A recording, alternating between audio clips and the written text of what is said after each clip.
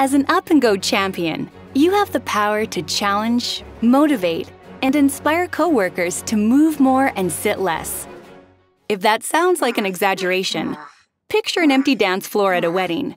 Few are willing to be the first to step out onto that floor and start a conga line. But once started, it grows. It gets easier and easier to join in the fun. Soon, everyone is on their feet, shimmying and shaking away. And just like that, the entire mood of the wedding has changed. At your workplace, you can get your coworkers on their feet by being the first. You can help create an active workplace culture by visibly taking walking breaks, standing during meetings, or encouraging your peers to participate in fit breaks. You have the power to be the first to hit that dance floor. Your colleagues want to get going and will join you.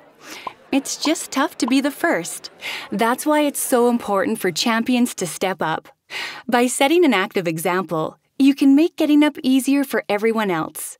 Soon, your entire office will be moving more, sitting less, and leading happier and healthier lives. They just need you to take the lead. Get up and going today with ParticipACTION.